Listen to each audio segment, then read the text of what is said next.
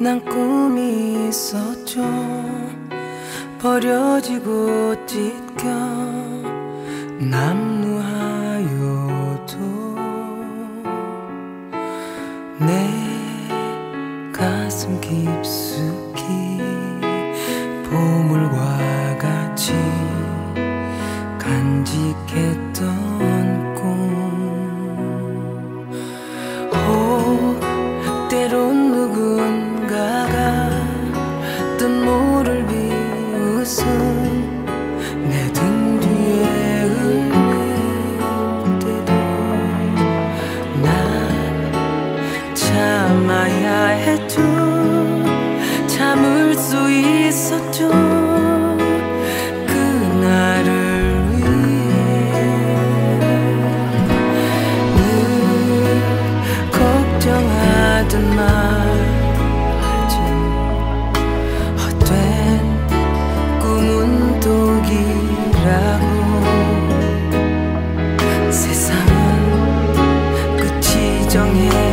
책처럼 이미 돌이